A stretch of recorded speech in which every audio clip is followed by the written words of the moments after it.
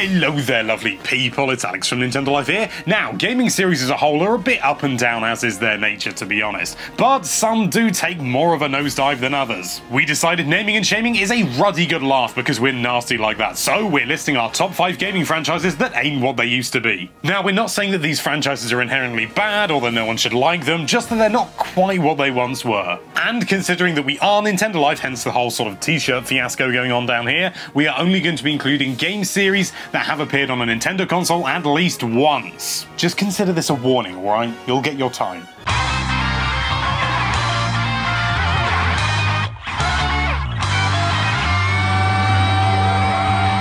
Despite having more games than a Nintendo Life employee, the Blue Bomber hasn't exactly been firing on all cylinders recently. Mega Man 9 and 10 received great reviews, but for some reason, Capcom just doesn't seem to care much about this guy anymore. If Wikipedia is to be believed, he hasn't even had a release beyond the Legacy Collection since 2013, and even that was some sort of obscure Japan-only phone game. He may have been immortalized in Super Smash Bros., but until we hear otherwise, all we're getting is some strange DeviantArt-themed TV series and a supposedly disappointing knockoff.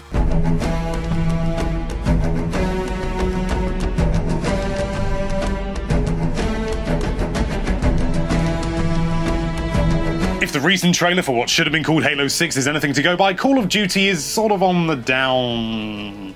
Well, to be honest, it's been going down gradually for a while now. Gone is the rooty tooty point and shooty action, revolutionary controls, and genuinely involving single player, all to be replaced with a total lack of anything really original. You can afford Kevin Spacey, but you can't afford a genuinely well written storyline. I, I don't even know how that works.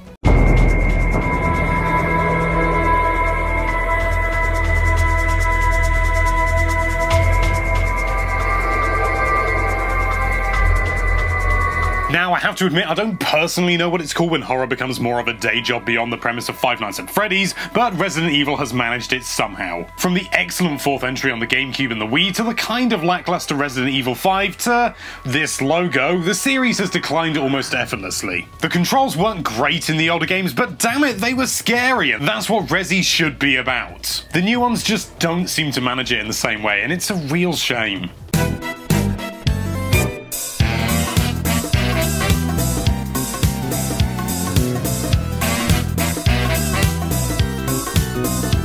More commonly known as the Friendship Assassin, this series has been kicking around for the best part of two decades, and it's safe to say that it's no longer the entertaining childhood trauma it once was. Mario Party 10 is still kind of fun, but without even going around the board individually outside of Amiibo Party, it's not got much in terms of replayability, which is one of the series' strongest assets. Also, tapping an Amiibo just to roll a die isn't exactly an inventive or fun way to do things. Now, before we get on to number one, on the off chance that you haven't already guessed what it is, let's take a moment to have a look at some series that haven't declined in quality over the years, basically just to take this horrible, bitter taste out of our mouths.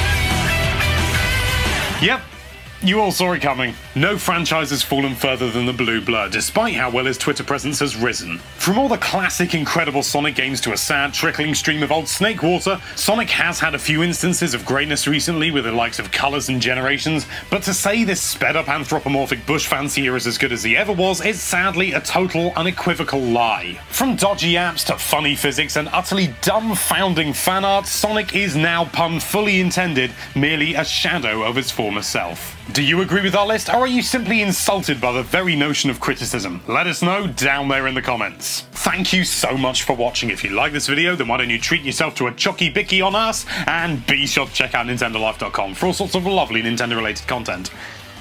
Hmm. Thank you again for watching. Bye-bye.